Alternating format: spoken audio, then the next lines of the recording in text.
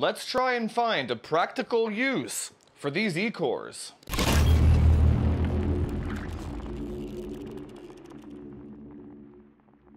So with 12th gen, Intel was kind of stuck between a rock and a hard place.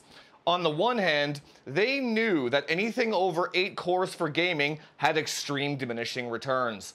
On the other hand, they also kept seeing Linus and the mainstream tech tubers constantly use Cinebench for CPU comparisons. So the reality was, it didn't matter that the gamers were getting screwed over left, right, and center. We got these crappy chiplet architectures with a million cores that sucked for gaming. Intel couldn't release good products because they kept getting hammered by the mainstream because of lack of cores, right? Anyone who actually played games didn't really give a shit about those cores.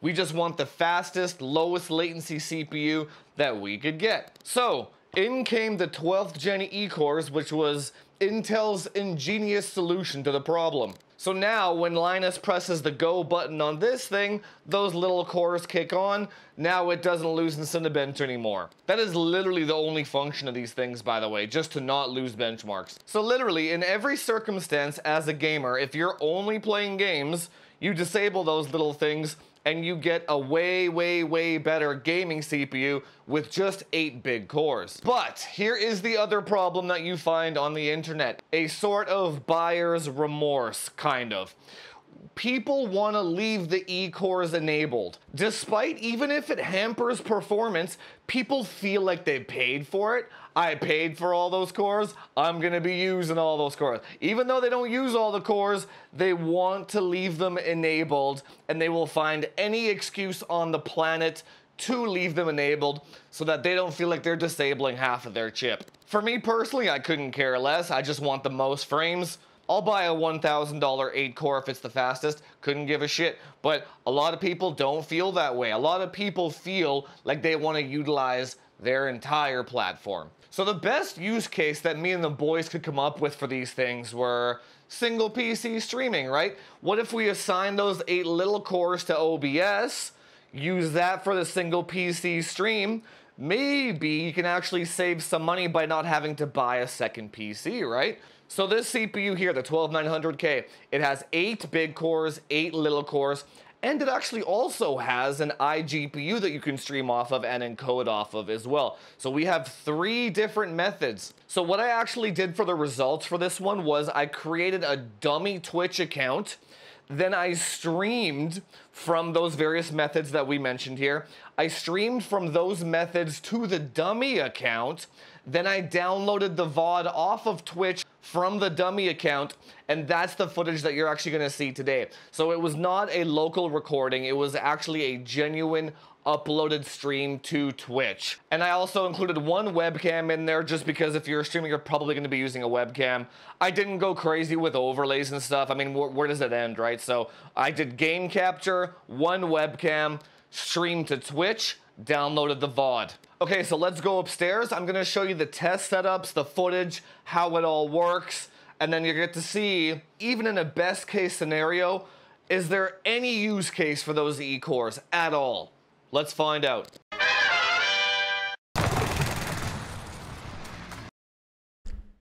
Okay, so right off the bat, I'm going to be showing you footage of QuickSync. This is the iGPU streaming. Now, the reason why I'm showing you this first is because the quality is absolutely horrendous. This is completely unusable. The background actually looks okay, but pay attention to the high motion areas like the road right in front of the center of the camera. It's so blurry that you can't actually even make out where the road stops and starts. Like it's really, really, really bad. So anyway, long story short, if you are a single PC streamer, the iGPU on 12th gen is has zero improvement. So it's uh, using QuickSync is unviable for streaming.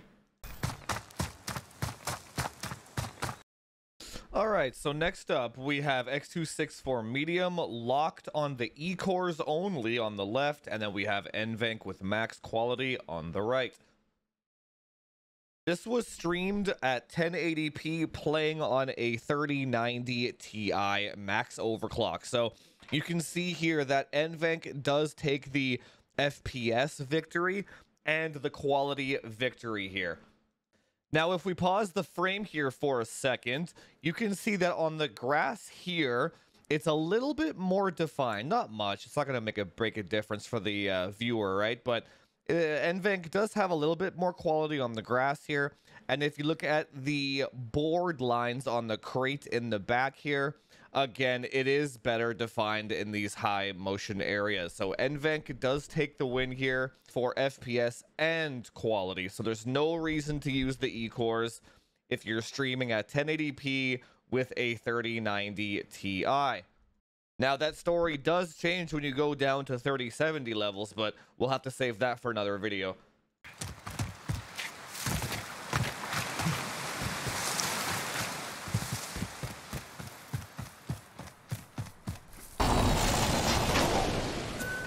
So I decided to throw some Apex Legends in here as well, and the story is kind of reversed now, where the quality of X264 seems to be a bit better in high motion areas, and the FPS is actually also better with X264 medium. So this game actually does hit the GPU a bit harder than Warzone does. So you'll actually maintain that 300 FPS if you're CPU encoding, but if you're GPU encoding, you won't. Different tools for different jobs.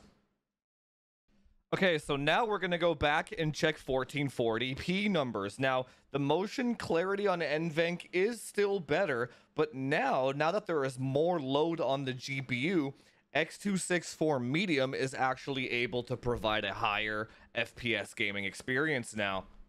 So even the most powerful graphics card on the planet right now today is is still not powerful enough to single PC stream with NVENC in 1440p. It's super interesting. Okay, with that information gathered and tested, we're going to head over to our friend, the spreadsheet. Now, the 12900K is the only CPU where this is actually viable. The 12700K and 12600K do not have enough E-cores to do this. You have to have a 12900K. Now, if you have a 2080 Ti or a 3070 Ti or below, in all instances except Overwatch, Valorant, and CSGO, you're going to want to use the E-core streaming. These graphics cards get pegged at 1080p in all of these games, so you're going to want to reserve as much GPU horsepower as you can for the game. Let the E-cores do the work. Now, if you have a 3080 or 3080 12 gig, 1080p Warzone, NVENC because you just get those higher frames going that route, and the game has a lot of headroom left in it with those graphics cards. X264 E-cores for the rest. And again, for Overwatch, Valorant, and CSGO, just use NVENC, turn the E-cores off. Now, if you have a 3080 Ti or above, Warzone 1080p, NVENC, just because you get the most frames doing that, you're pretty much pegging 300. Plenty and plenty of headroom left in those graphics cards to do that. Apex, always X264 E-cores. The Apex is just a weird game with graphics cards. E-core streaming always works better with this one. Now, if you're doing Warzone in 1440p, you know, you can do either or here. You can do E-cores if you want more FPS for yourself, or you can do NVENC for quality if you want better picture quality for your viewer at the cost of 10 to 20 frames or whatever, right? So this is more of a personal preference type thing. Single players, the reason why I put X264 E-cores for all of them is because in single player games, there's not very much rapid motion whipping the mouse left and right. So the E-cores do a lot better with still frames and slow paced type of games, right? So you're actually better off saving as much graphical horsepower as you can to crank up those visual settings so that when the actual picture gets to the viewer, it has all of the bells and whistles and particle effects ready to go for them. And as always, Overwatch, Valorant, the easy to run games, just turn the E-cores off, crank the NVENC on, and you're good to go. So there you go. It actually works very, very, very well overall. Um, in Warzone, you get a little bit of a frame drop just because that game is so CPU heavy. And when you turn on the E-cores, it robs a little bit of that cache, a little bit of that latency. But in games like Apex, Overwatch, Counter-Strike, these other esport titles, no problems. You get full frames, full max performance, and you can stream on that thing. It's actually it's actually wonderful. So here is the interesting thought now.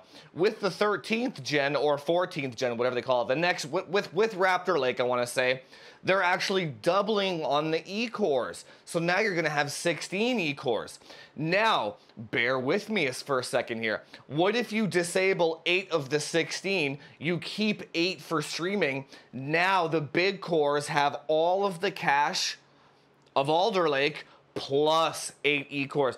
So I think actually the 13900K or the next CPU that comes out, that one might finally be a 100% no compromise single PC stream CPU. We'll find out when the time comes, but just an interesting thought to leave with you for now. But if you're interested in streaming right now, this CPU does cost $200 more than a 12700K. You just get those four extra E-cores. But if you are an aspiring streamer, I think it's worth it. Those extra four E-cores open up a lot of streaming doors for you, a lot. Now, in some of those scenarios, those E-cores were hitting 90% usage on all of them, and I only have one webcam, right? So the limitation of this is going to be how intricate you can make your stream. If you have like three or four stream decks, Go XLR, scene transitions, stinger transitions, if you have all that crazy shit, then I don't think the E-core streaming is gonna work for you very well, but that doesn't mean you can't just like disable four E-cores, leave four of them on, assign those to OBS to handle all the webcams and everything, and then you just use NVENC on top. That way you get the best of both worlds. But if you're just a gamer or you're going all into the streaming scene and you do have two PCs, then just turn that shit off, don't worry about it, because they just cause compatibility problems. Who wants to deal with setting CPU affinity cores all the time? It's a nightmare. Eh, you could like as with as with anything, you can make it work, but ease of use is a kind of a problem. Anyway, guys, I thought this was a huge success. Good use case for those e-cores. And if you like the content, hit that subscribe button, do all that YouTube SEO stuff. Like, share, subscribe. Comment down below if you can think of any other use cases, practical ones for those e-cores. Leave a comment down below. And uh, hope you guys learned something. And I'll see you in the next one. Talk to you later.